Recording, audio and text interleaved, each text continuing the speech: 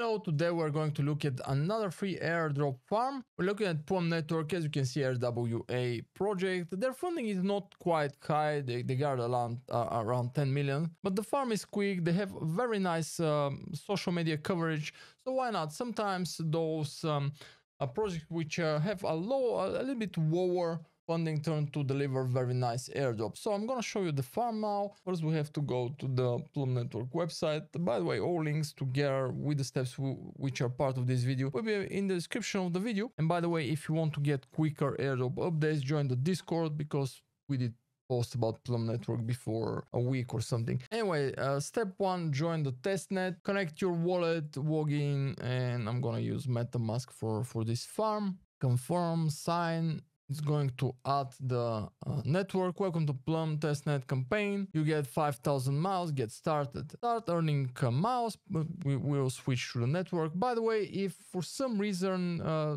the MetaMask is not um, adding Plume network, you can use you can use Chainlist. Uh, just go in Chainlist. Again, I'm gonna put the link in the description. Write Plume at the search network and just press connect and you'll be able to connect the network. Now here you have bunch of tasks which you can do to uh, obtain more more miles and i encourage you to go around and, and do all of them but basically you have also daily check-ins you can use the faucet and you can also perform a bridge now if you're just starting to farm um, um, evm testnets I highly recommend Alchemy. I'm gonna put a link in the description. Before month or two or two, they did add this um, a condition where you have to have uh, no this is not the condition. Uh, uh, this is uh, where you have to have 0.001 ethereum in your uh, wallet on the mainnet in order to use the faucet. But most of the faucets did add this condition so they're not getting overloaded by by bots and if you are planning to farm ethereum testnets and l2s etc uh, I highly recommend that you you do that so you can use the faucet because especially Alchemy it has uh, Sepolia uh, on base, on Optimism, Arbitrum, Ethereum, of course. Uh, so they cover a lot of uh, testnet free um, uh, tokens which you can obtain, and every 24 hours you can get 0, .0 uh, 0.1 uh, Ethereum in this case. And how you do that? You copy the address, you paste it here, and you get um, 0.1 Ethereum. And you can do that every 24 hours. I'm saying this. I'm saying this because you can use the bridge here, and you can uh, transfer from Sepolia let me connect a wallet because we're gonna do a bridge now. Uh, you can transfer from Sepolia to Plume uh, network and I'm gonna do so.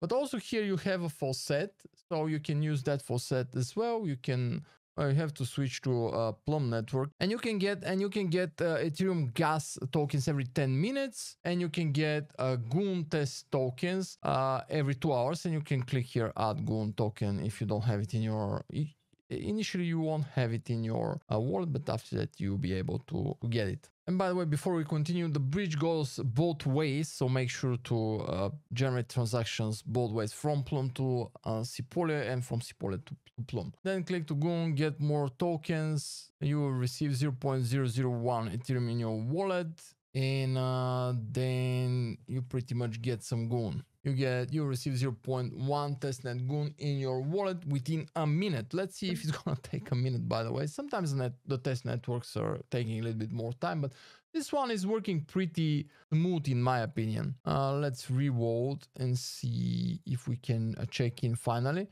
um, yes, I think we can. Now we have money. So do the daily check-in once you obtain Ethereum and, and Goon tokens and, and you get another 5,000 miles and that's a daily thing. So, you know, include in your rotation and start uh, doing the daily check-in every day. So start using the faucet, as I said, for the Ethereum every 10 minutes, for Goon every two hours, uh, do the daily check-ins, and then explore other tasks which you can do in order to generate more miles. Let's see if we can do a swap uh, here on ambient. We have some Goon. Uh, let's connect the wallet. As I say always, the idea of you know farming testnet is to spam transactions. You have to obtain at least, let's say, three unique weeks um, across two unique months. That's like minimum minimum 100 uh, transactions on the testnet.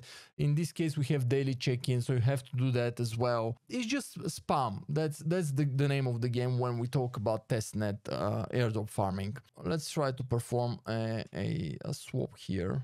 Everything if everything is cool. Okay you don't really want to approve and that's not only on testnet in general you don't want to approve big um, big amounts, just approve the amounts you, you need.